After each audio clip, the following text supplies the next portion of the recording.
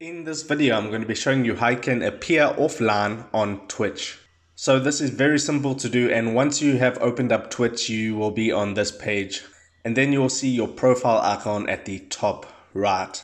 And this will work on Android devices and iOS devices. So once you're on this page, tap on your profile icon at the top left and then you will have a couple of options. And then you'll see one of the options near the bottom is set presence. If you go ahead and tap on that you can now see three options online busy and invisible. And if you want to appear offline all you need to do is tap on invisible and then you'll have that grayed out circle instead of the green online circle when you're on twitch. So i can go back to my profile now and you can see that the green dot turned to a gray dot meaning that people won't know that i'm online on twitch if this video helped you out, make sure to hit the like button and subscribe for more. Take care.